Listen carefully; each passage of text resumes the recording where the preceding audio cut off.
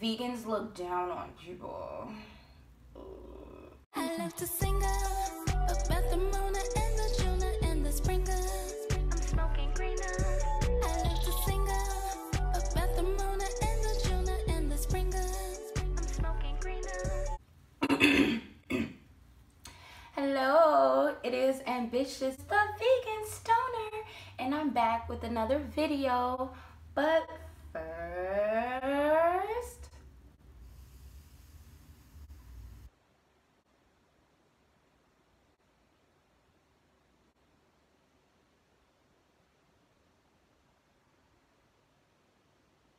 Ooh, disclaimer. Um, I'm going to be speaking about certain groups. I'm no way at all generalizing an entire group.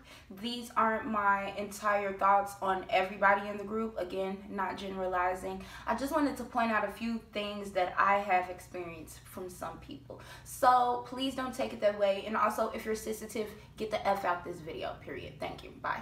See you. I am back with another video. Welcome to episode I believe this is six. Welcome to episode six of Smoke Break. Okay, so in this video, I just wanted to talk about a few things that have been bothering me. Okay, and when I say bothering me, I don't mean just a little smidget of a bother. I mean, it's kind of really been bothering me. So I decided to just go ahead and make a video about it. So this video is going to be about the divide in the vegan community. Did you hear what I said? I said this video is going to be about the divide in the vegan community. Now, you would think that because everybody is making like better choices for themselves, you would generally think vegans are just the most polite, happy, most spiritual beings to walk the earth. But let me tell you something. Um, it isn't always like that, and there is really a divide within the vegan community. I feel there, there's levels, there's levels, levels, levels to this veganism thing. For me, example, when I was transitioning into veganism, I was vegetarian for about two years. Now, when I was vegetarian, that's when I kind of get the vibes that sometimes vegans look down on people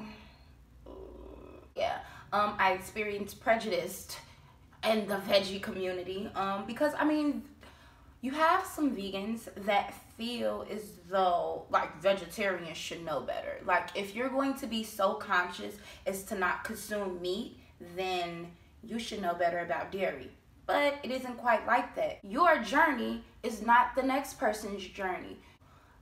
Everybody is not just gonna come in vegan um just come in just it takes some people time and sometimes people make mistakes.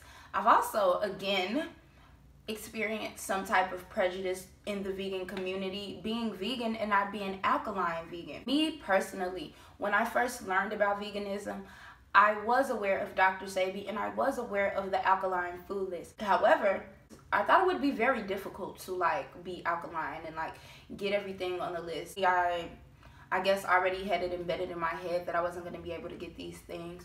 So then I just may as well just start get, giving up meat. And um, for me, in my vegan journey, a lot of what my meals are were literally substitutions. So sorry to say, but I'm not the healthiest vegan.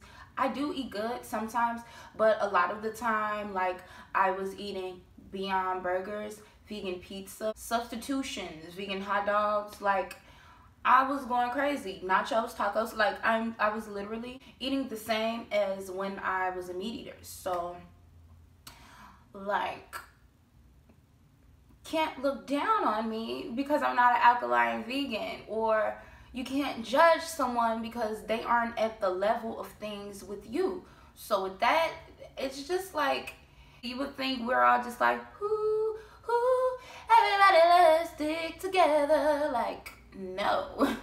It's really not like that. It's crazy. You feel me? It's crazy out here in these vegan streets because everybody has an opinion and everybody feels like they're right and no one can ever be wrong. And I wanted to read a comment that I got the other day on my vegan page. This this comment also is kind of the reason why I wanted to make this video because it just made me feel like why is there such a divide? We should be vegans and happy and free and not judgmental and not like on other people's cases about using the word vegan or you know like like that that is the energy that makes people want to be like not even hold the title of veganism. Like you got vegans out here that don't even want to call themselves vegan. They just eat vegan because they don't want the problems to come with it.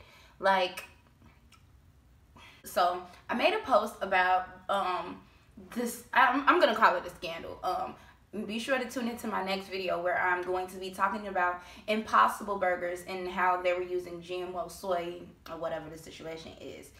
But this is what she said. She said, veganism isn't about health. So I don't know why people are expecting every vegan product to be healthy. Veganism is about animal liberation, period. Bitch, what? What?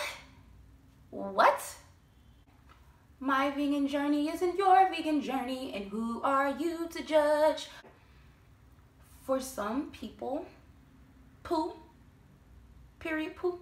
For some people, poo, veganism is only about health. Um, like, that comment made no sense, okay?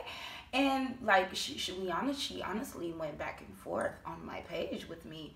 We were about 11, 12 comments deep but I ended it by saying the reality is this isn't everyone's vegan story. People is doing what's best for them, and that's why I share this information. So, um, you cannot tell somebody they're wrong because they're not vegan for the animals. I'm not necessarily vegan for the animals, so am I wrong? Am I not allowed to call myself a vegan? Like, get the, get, get, get out of here with that. Let's spread the energy of love and let's spread the energy of light and let's continue to uplift one another. And if you can't do that like like i don't know. Just just don't bring the energy around me because like that's all i want to do is spread love and light. And i think the veganism journey should be about literally people uplifting selves being the best version of themselves it don't always have to be like there's no book. There's no well there are books there are books about veganism but um there are no rules. There are no there there are no rules that say you can't be in the vegan club. I mean i guess uh, unless you're eating meat. I think that's the one exception of the rule. In the end of the day i think it's best that again people do what's best for them and stop being so judgy like no one likes a judgy preachy vegan like it's annoying much maybe? But yeah i think people should just work on being the best versions of themselves and like stop throwing judgment everywhere.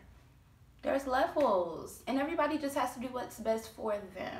So with that being said i would encourage super, super encourage my vegan friends to keep spreading love and keep spreading light and continue to just be great vegans. Be a good vegan, okay? Be a good vegan. Thank you all for watching and tuning in with me for yet another video. Please make sure you like, comment, and subscribe, and turn on your post notifications so you know the next time that I post a new video. Also, comment down below and tell me your favorite, best, positive thought about the vegan community. All right, guys, see you in the next video. It's never enough.